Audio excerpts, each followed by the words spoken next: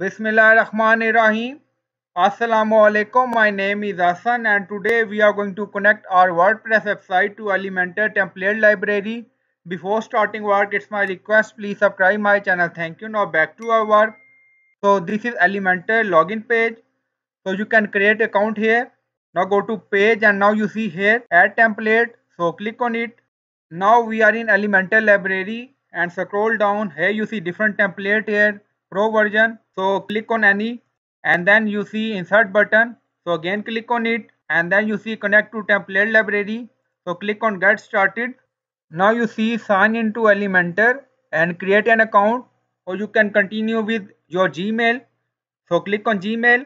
Now you see connect your site to template library. This is our website and this is our account. Now you see connect button. So click on it. Now account created. So click on apply. Now you see design is added here you see. Scroll down. Here you see add template icon. Again click on it. And you can select design according to your requirement. And then click on insert and click on apply. Now you see design is added again. So in this way you can connect your website to elementor template library. So i hope you like this video. Please like comment share subscribe. Thank you for watching